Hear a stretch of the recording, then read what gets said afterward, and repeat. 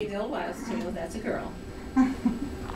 What's the? Heart rates are fast if they're girls and slow if they're boys. However, putting that into consideration, this baby's moving, so heart rate's going to be faster. Mm. And we used to do it at term, so then that's when we were guessing Mm. the heart rate. So, What is the break between fast and slow? um, well, 120 is slow Okay. and 160 is fast. So it, when you get, when you're at 140, nobody knows what to tell you. Um, okay. And so, yeah. One, So I uh, put no stock into it other than it's fun to guess. And if I always guess the same every single time, then I'd be right 50%. Right. There's both legs right there. the first one you had There's- 128. after the bleed was 126, I thought. One twenty-eight. 128. So That see, it was- turned from a boy to a girl just like that. Right, right. Uh, Look at this, a cute little baby.